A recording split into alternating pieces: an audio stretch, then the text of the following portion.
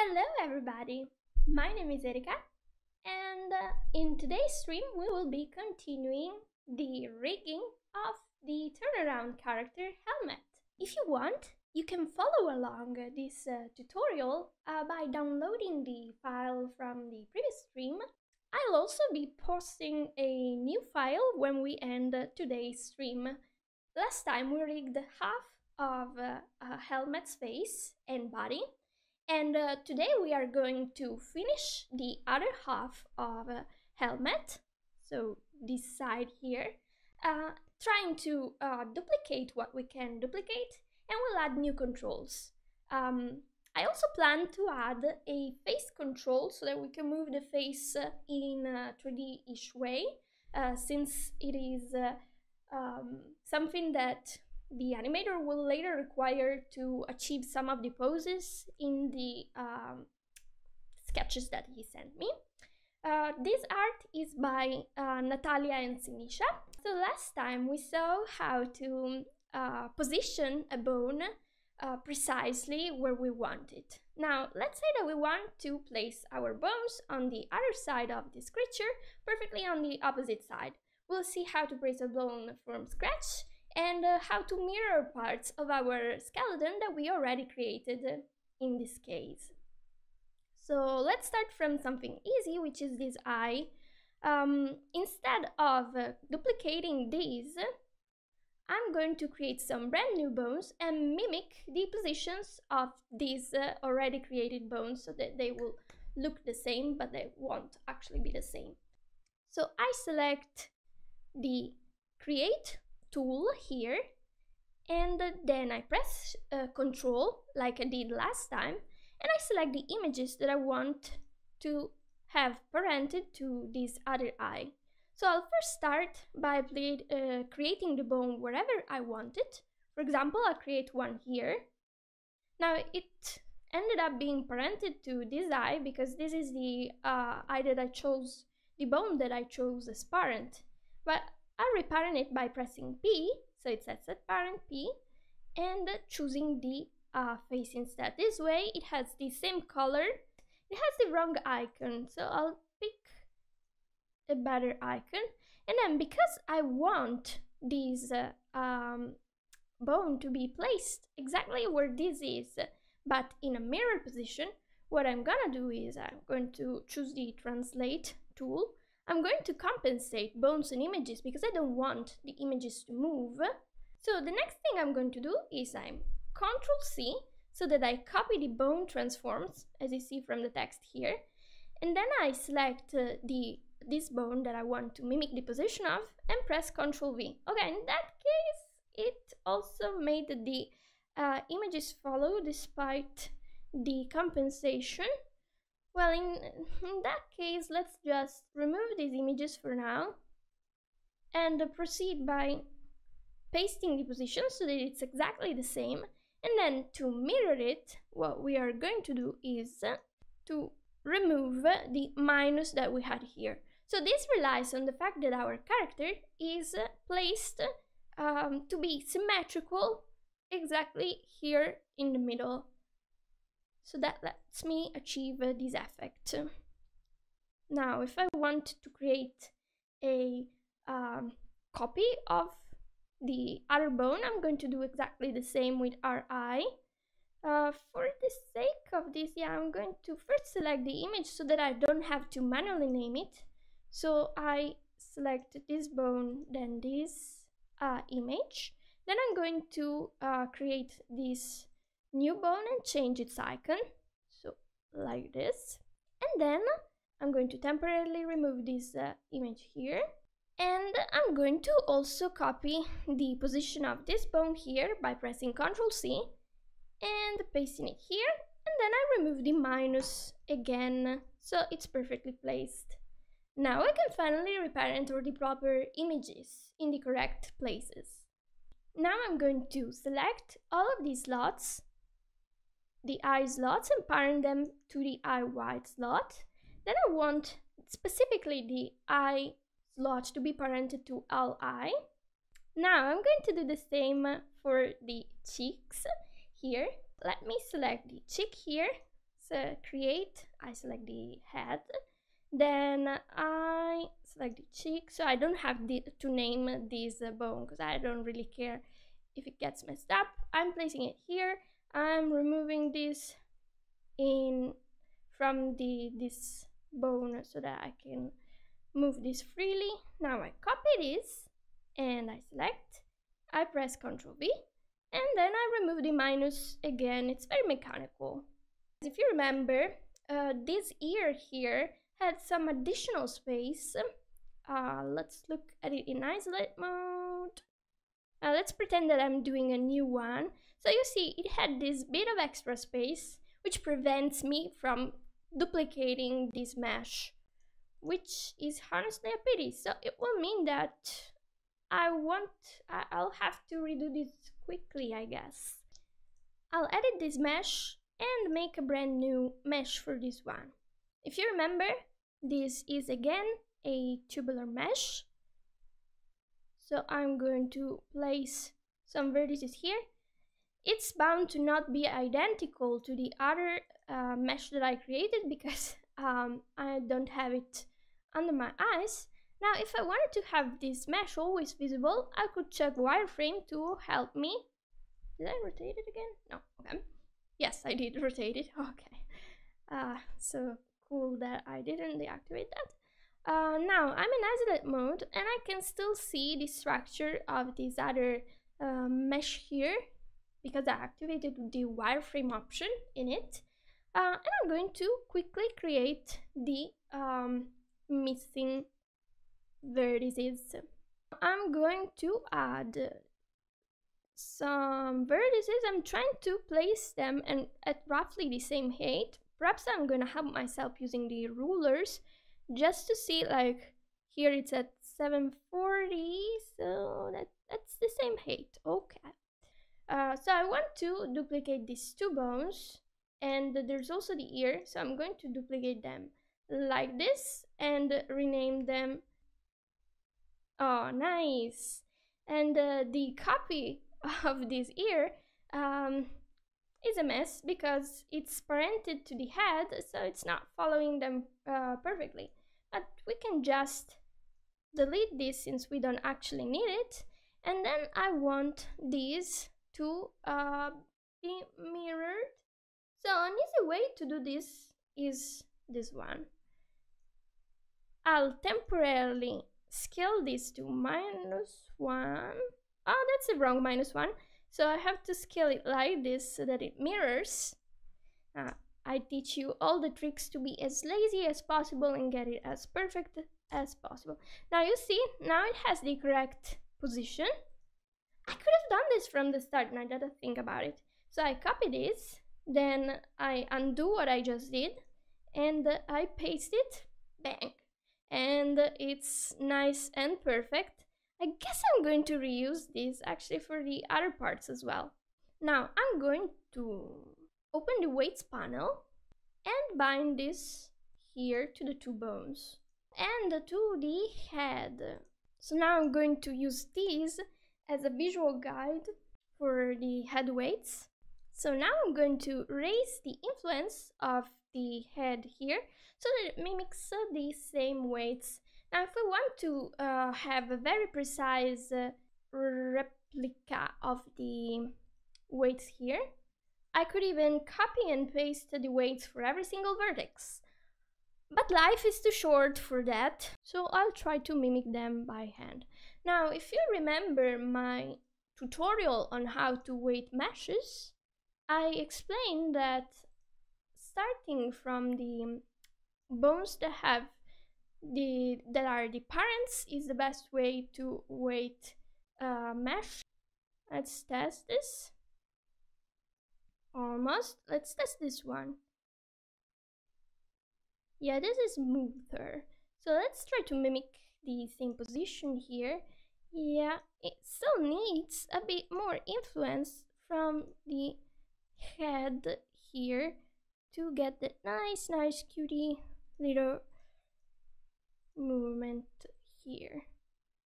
Testing in the opposite direction and I'm dissatisfied with this. That's because uh, the automatic weighting uh, um, didn't do wonders in this case. So let me fix that so that it looks good. So I'm going to deactivate the, the wireframe now because I want to look. Oh, I also, okay, so they look a bit more similar now. Cool, so if I do this, okay. Here it's smooth, here it's not so smooth. So let's fix that. It means that this bone needs a bit more, in this case a bit less influence here because it's too strong. So we are recreating a nice curve. Okay, so this is the maximum that we can get. This is how it's gonna go. So this requires a bit less influence from here. What we are missing, ah yeah, the we are going to do the other arm here. Now this time I'm going to do what uh, Finder su suggested and I'm going to duplicate this whole structure, flip it and replace the images instead. But first I will need to rig this arm. So I'm going to create a mesh. I'm going to create a new mesh. We don't like old meshes. Then I'm going to create a straight line that follows this nice paw here. And another one here so that it's as close as it can get but not too close and I'm going to create a couple of vertices here because that's where we want it to match the um, t-shirt sleeve. And uh, I'm going to also create one here because we don't really want this bow. Oh maybe yes. To distort too much. So I'm going to create several vertices now. I guess the paws are gonna be very expressive, so I'm not um, holding back on undoing vertices here because this part is pretty important. Perhaps I'll add more later, I'm not sure. And now I'm going to um, parent them to the two, uh, parent this mesh to the two bones. I'll bind this here. This two should be enough. Now let's check by doing this. Uh, I guess this is the kind of character that is going to have more noodly arms rather than uh,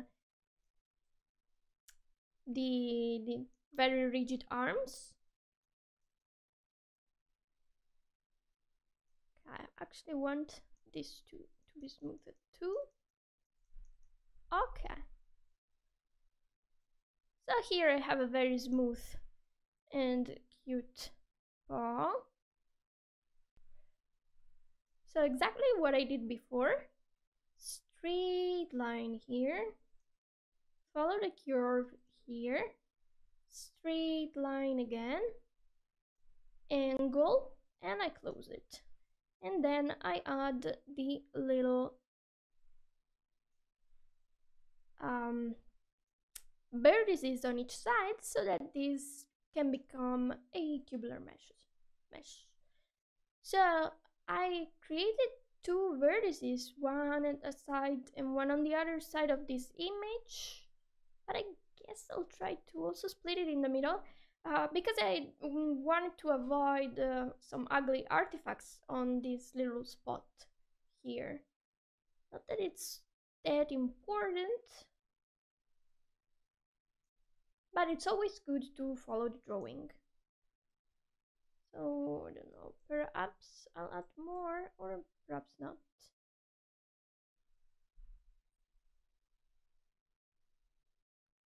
Hmm. Yeah, I can add them. Oops. Because after we are going to use this for videos, so it shouldn't be a terrible thing to add some more vertices. So we have 26 vertices in this case. Now, I want to copy this setup and flip it. So here I have the IK target. I'm going to parent it so that it follows these legs here. And I'm going to I'm going to just duplicate this and I'm going to uh, flip the whole body just like I did earlier because that was really convenient. Uh, so instead of having these uh, these parts called our leg down etc with the 2 I'm going to use the renaming tool and I'm going to tell it to find everything that begins with an R I'm going to use regular expressions because that's also pretty convenient so I can replace both at once. I want the current selection and uh, I'm going to tell it. You have to uh, find everything that starts with an R and then select everything in between and everything that starts with a 2 and the Clippy screams at me because I've been going for an hour. But seriously and I'm going to replace it with L then I add the selection group. Oh my dear. Okay. I was pressing the wrong button.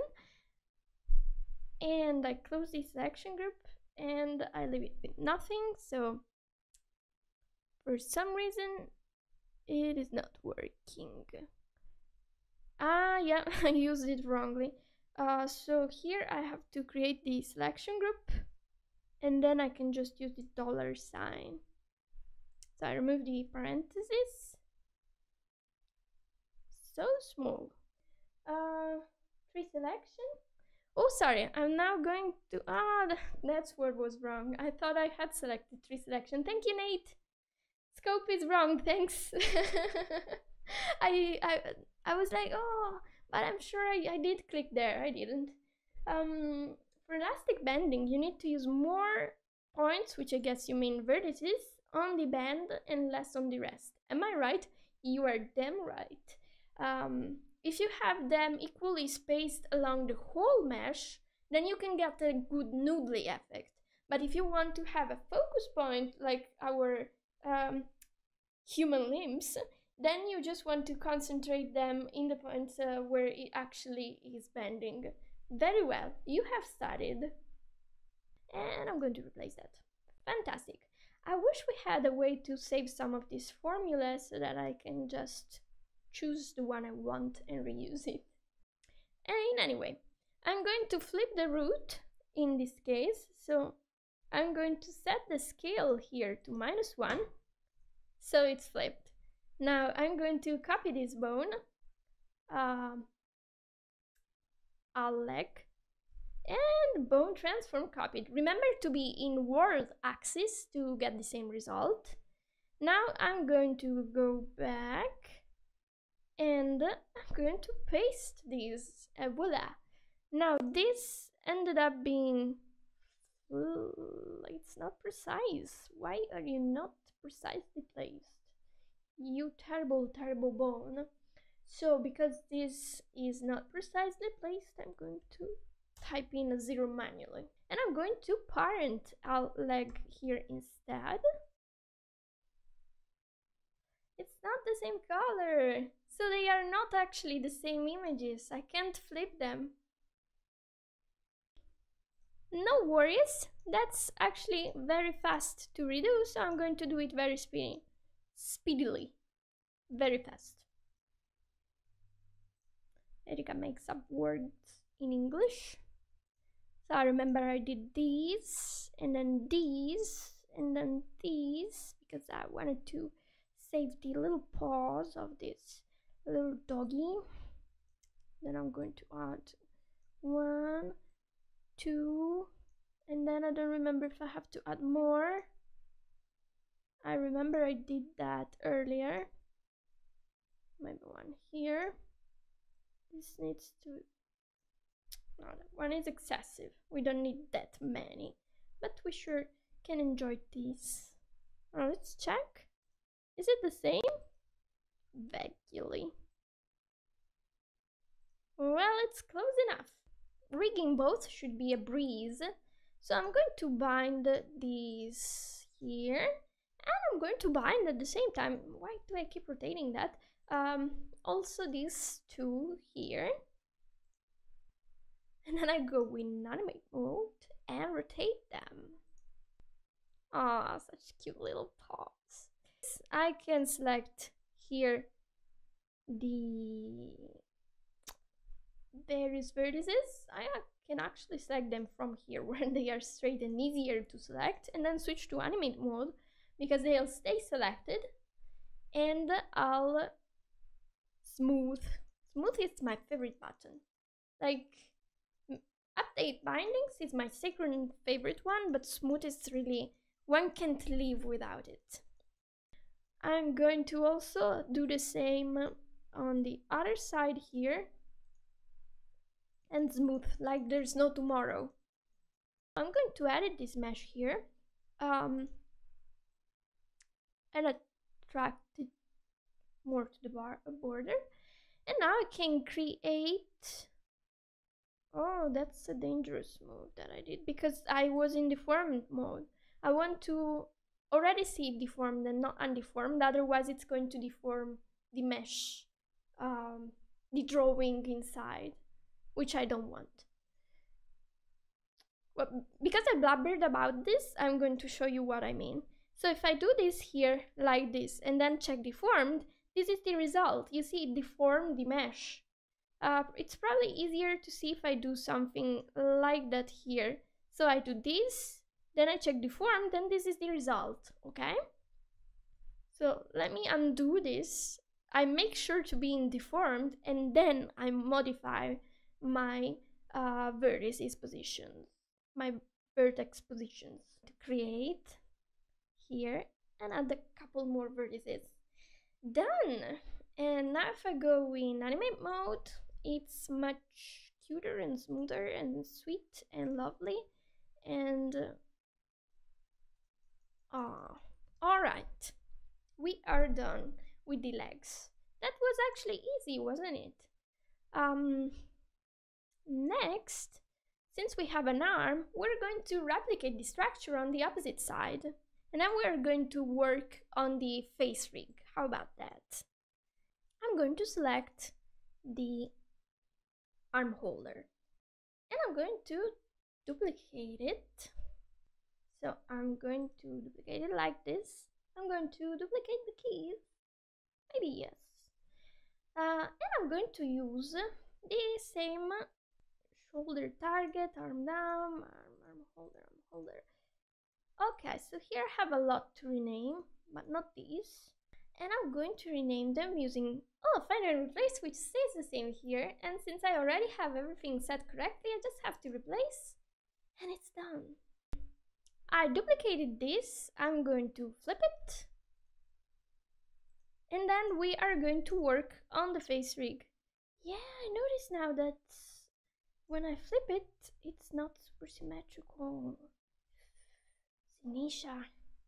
But it's actually very symmetrical. It's basically it's basically the same. So also it's probably just these two that are that uh, it looks symmetrical from afar and also no human or animal or anything is actually perfectly symmetrical so that makes it more alive I guess in any case uh, so i was flipping this let's complete the flipping i'm going to select this bone here the arm holder and copy its position then i'm going to undo what i just did and paste it it's lovely it's I forgot I have to actually copy the position of the other bones as well.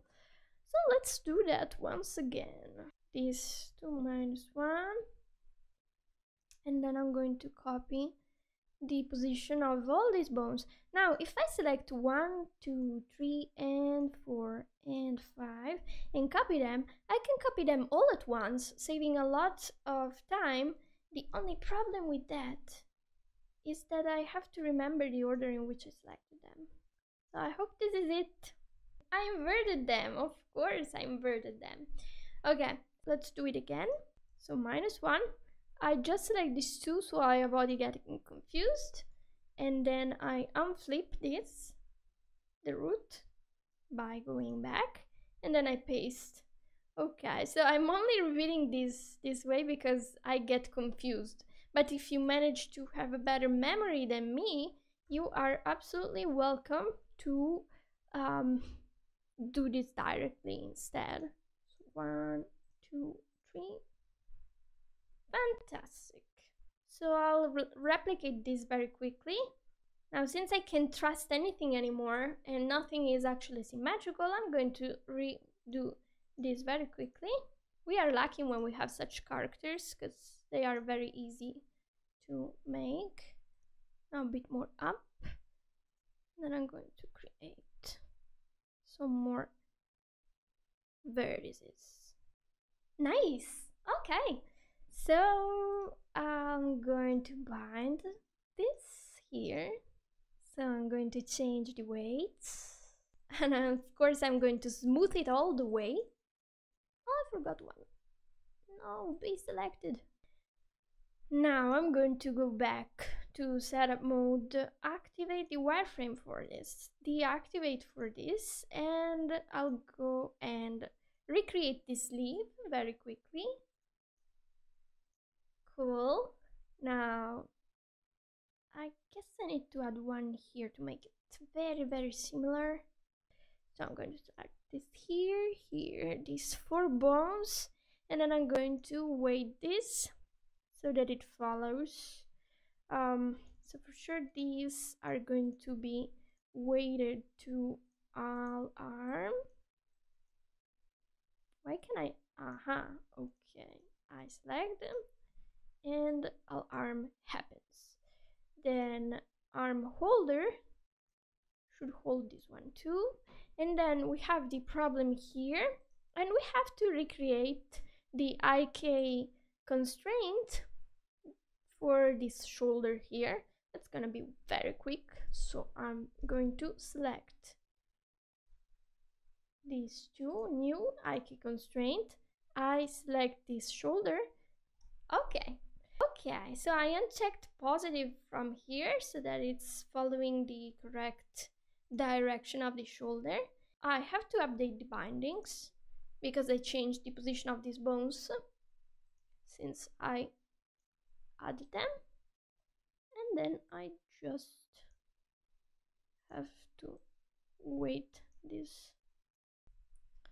So for now I'm going to leave it as it is okay so I'm I'll go with the assumption that this is going to be moved all at once and that we want the pivot to be here and then I'm going to make the pivot perfect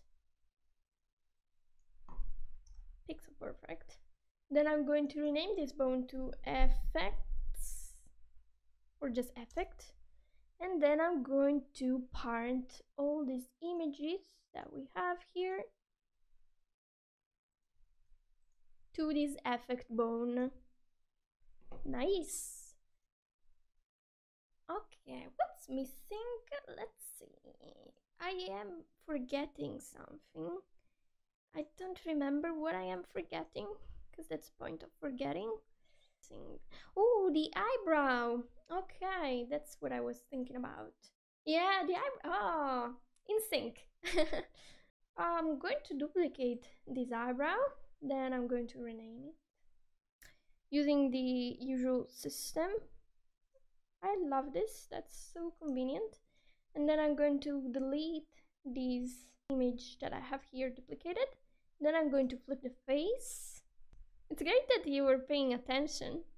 And then I'm going to copy the position of this, undo the flipping, and I'm going to paste it. Perfect! Now I can just reparent the eyebrow to the correct bone. And it's done. That was quick and easy, wasn't it? I hope you also managed to replicate this, in case you were following along. So for the head control, so if you already followed some other tutorials um, or watched other uh, Twitch streams, you are probably already familiar with the uh, 3D moving face. It relies on a transform constraint that has a negative value so that a bone mimics another bone going in exactly the opposite direction at the same speed. Um, we are going to recreate that setup now on the little pug face. Remember, this is a dog, this is not a rabbit. Let's create the uh, setup for the head. We start by creating a new bone. We could actually reuse this little bone that we have here on the nose. So I already have this bone here. I'm going to create a bone that will be controlling the, the face in the opposite direction. I'm going to place it wherever I want, just so that it's parented under the head. So for now here, and then I'm going to set the translation to zero so it's centered. Uh, maybe here, but I'm going to change the icon so that I remember not to click this I'm also going to change it to red so it looks like a don't touch it sign. And I'll lower the opacity of this too so it's less prominent. It makes you want to quick click it a, little less. I want to also lower the opacity of this one here. Okay, so they are similar. And now uh, we are going to set that uh, constraint. So let's proceed and create the constraint that will move our head in a 3D-ish way. I'm going to select the back of the head control, which I'm going to rename to head inverse. Then I'm going to uh, create a new transform constraint and select the uh, nose bone, which I'm going, and I'm going to rename this con transform constraint to um, head control. Now, the first thing I want to do is to match the position of this bone so that it doesn't move when I change the mixing influence here. Then I'm going to set it to minus 100. And now that we're done, if I go in animate mode, the only place where we want to edit the position of our things, yes, it worked. So since this worked, now this isn't very 3D-ish, but we are going to fix it creating a couple more meshes. The first one is going to be the one of the head, because this lovely pug, is it a pug? French bulldog? I'm not sure. Uh, because this lovely dog um, has this lovely little line that goes across its face, so we're going to need a mesh to uh, help simulate the various the features following that. So I'm going to create a new mesh, or perhaps I'll trace it. And that's good. That's good for me. Yeah, I'm going to accept it. I'm just maybe gonna remove this vertex here and this one so that I can instead make sure that this is on the border and this too. Nice, it saved me a couple minutes. So we created the outer hull and I'm going to create some more vertices. Now, if we want it to retain its spherical shape, we want to avoid just placing a, a vertex here in the middle and instead we want to distribute the vertices around um, to better simulate that this front part is a bit more flat. Basically what I want to do is make a second circle on the inside.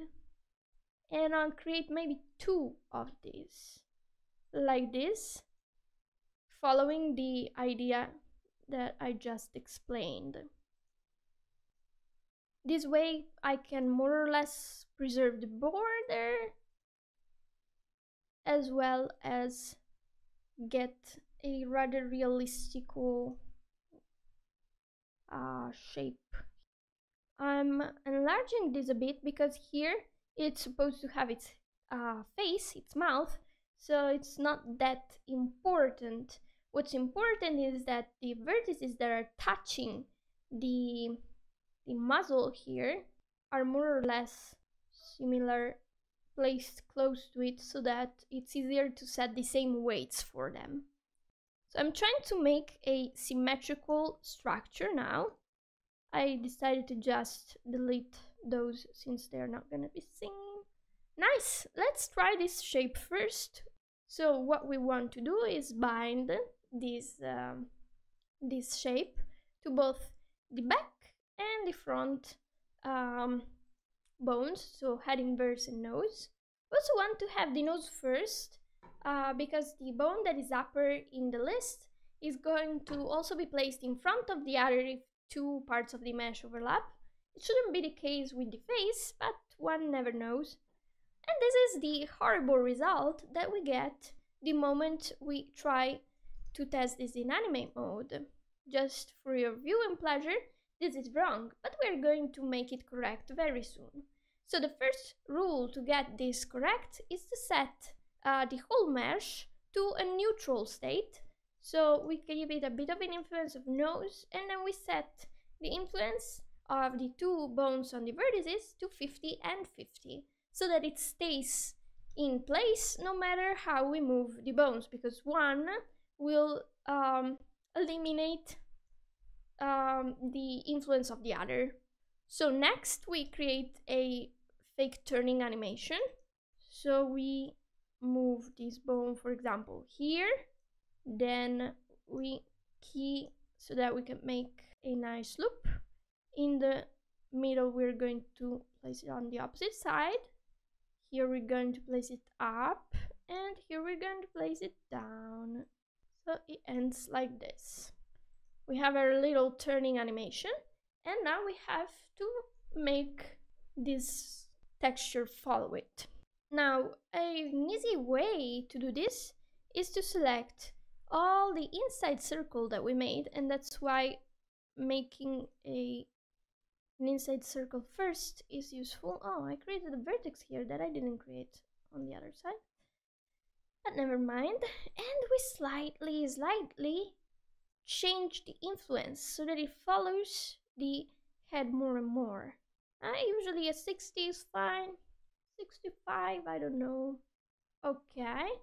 And we also get this outer part here to follow the head a bit more, but at a slower pace. Okay, so we get that spherical effect. This maybe wouldn't have required that much an inverse control specifically, but perhaps we're going to need it in other directions. Uh, I did it out of habit. Or we are going to maybe need it on the ears instead. That's a possibility. So uh, what we are going to do next is to turn the eye whites into meshes. Now these are going to be simple meshes, likely, because they are curved and uh, we don't particularly need to distort them. So if I'm going to do this, they are going to stop following the eye and they are going to follow the head instead. So now it's a moment to take a decision. And this decision is should I add another control so that it follows uh, the so that it controls all these little bones that I have here at a slower pace? And I think the answer is yes. So I'm going to create an additional bone that will control the facial features that I have here uh, all at once. So let's do that. I'll go create. I select the head. I'm basically redoing what I did with the dudes. Then I create a new bone. I'm going to call it features holder.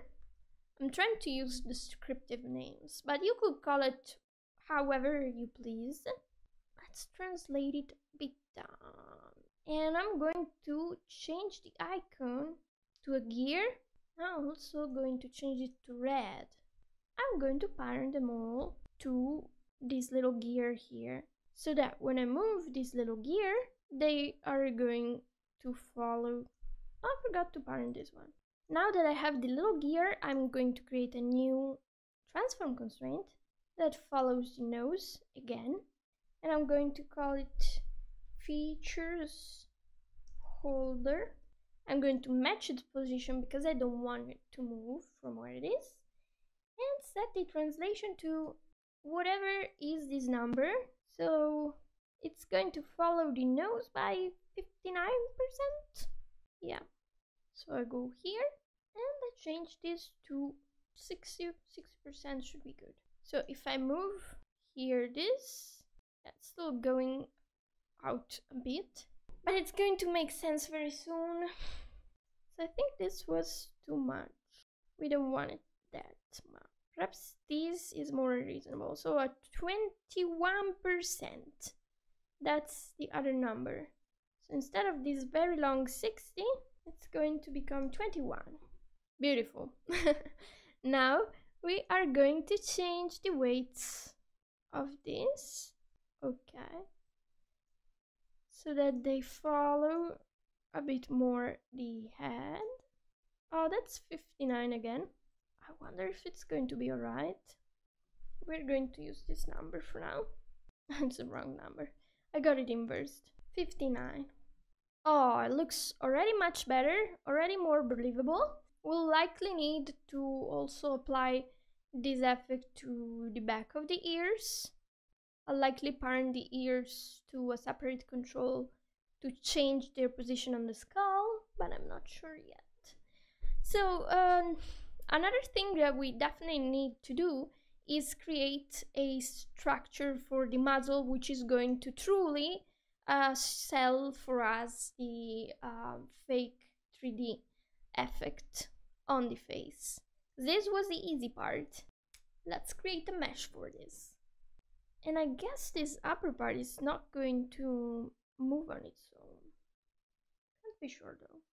So for now I'm going to parent it there, but if Siniša requires me, I'll separate it. I'll see. So I'll edit the mesh and create a new mesh. Almost okay.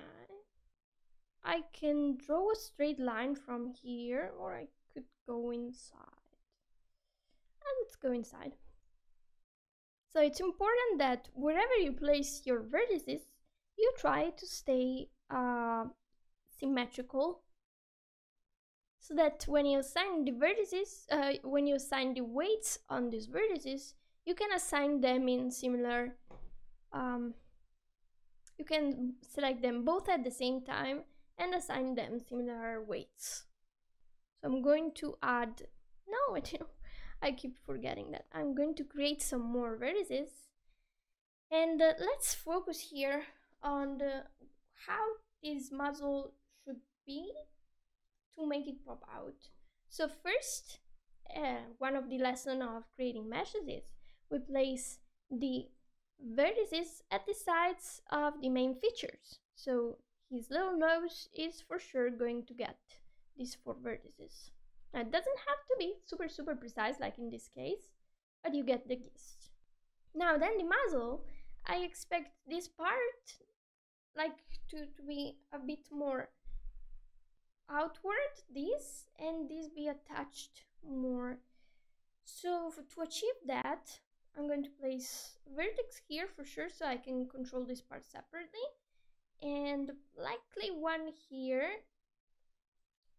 I'm going to test if this is enough or if I need to add more controls because perhaps this just this alone may work let's see if this works I'm going to be very happy if it doesn't, I'm going to add more vertices and you can say that I tried. So let's bind this to the nose and the inverse control.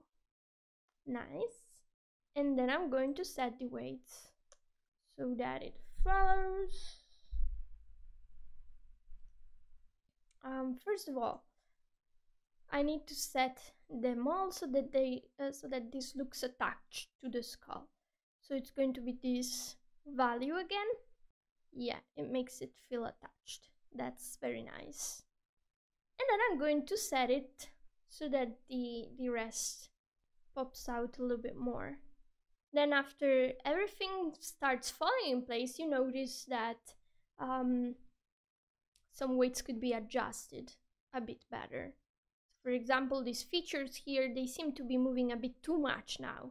So I might actually adjust the influence of it to 19 let's try 19 so it's just a little bit less in any case now let's simulate the depth by selecting the vertices that for sure are going to stick out the most which are these ones that I just selected so I need to have the courage to to add the most influence on this that's cute also, this part here is going to require a bit more influence from here, so it sticks out a bit more. Oh, so cute! I'm going to also rig uh, the mouth that it's floating so much, it's driving me crazy now. So new mesh, edit mesh, new. Okay, so this is going to need to be able to open the mouth. Okay, I created a basic, the outer hull here. Let me isolate here. I'm going to create a double border because this part here, I'm afraid it could get too distorted otherwise. And I'm also going to add a couple more vertices here so that I can have a part that is attached and a part that sticks out more. So now I'm going to uh, first bind these to the two bones and likely later I'm going to add a specific control why do it later when I can do it now so I'm going to create a little bone under the nose that will control the uh, mouth opening. Which I'm going to call Joe. Uh, Joe. Cool. Then I'm going to place it exactly in the middle. Okay, it is parented to the correct thing. So now I can use this to bind it to the jaw and to the inverse control. So first I set the weights to 50% and then I change it so that it more or less matches. Okay, so this part here clearly can't have all the same weight. So despite this part being right, I'm going to actually have to add not just the influence of this bone here, but also the influence of the main nose control because there's some parts of the mouth that I don't want to move. So I'm going to add that in. Bind, nose. Now I'll change the weights once again. So I'm going to remove all influence of the jaw and replace it with the nose while I can do it. and we have these scary insides of the mouth floating around like it's nothing. Uh, now, if I uh, want to test this, if it's working or not, I'm going to have to try to open the jaw by lowering it this way. Oh, that's nice, that's cute. It's kind of working. So I leave it open like this, set it on frame 1, and then I test the rotation while in this state. So I want this part here to be influenced more by the jaw. So I'm going to raise the influence now, like this, and then this part here, like this. Yeah, I want to avoid to do it too much, because then it would not be too well. And you see that when you place the vertices in a good position, they are kind of falling in place in any case. Okay, so now I'm very slowly changing the weights. I think I'm going to reduce the influence of the jaw here because it's sticking out a bit too much for my taste. And now it's a bit too few. okay, so you see that I keep selecting the vertices that are uh, in symmetrical positions that are supposed to have the same weights together. Okay. Now I'm going to give these two vertices especially different weights so that this part can stick out a bit more. But does it stick out? It's hard to tell. I'm going to deactivate the bones visibility. Mm, this seems too strong. Still too strong, yeah. Now let's complete this since we have like two more minutes till the end of the stream and then it's gonna be done so I'm going to create a mesh for this bind this to the actually maybe I don't. Is this the mouth? Yes. Uh, I'll try to just parent this mouth to this gear here. And while we're at it also the, the, the, the, little teeth that I saw oh there they are. Okay I forgot where they were. And I'm going to parent them to the jaw let's see now that is very scary and that's absolutely not what I meant for the poor teeth. So I'll turn the teeth into meshes now right now. Edit mesh? No okay. I'll bind it to the teeth to the jaw but also to the inverse control. Yes. And then I'll change the weights so that this thing can stay rightfully inside the mouth at the right amount of influence okay so we got already a nice looking head. It would feel more solid if we added a control also for the ears, but I guess that's gonna be for next time since our time is up. I'm going to see you in a week at the same time. Um, thanks for staying on the stream until now. I'll upload this video shortly as soon as I can uh, you'll be able to find the downloads for this uh, stream in the uh, description of the video. And uh, see you next time. I hope you enjoyed. I sure did, so thank you very much. You are wonderful just now. You are lovely. Thank you so much for joining the stream.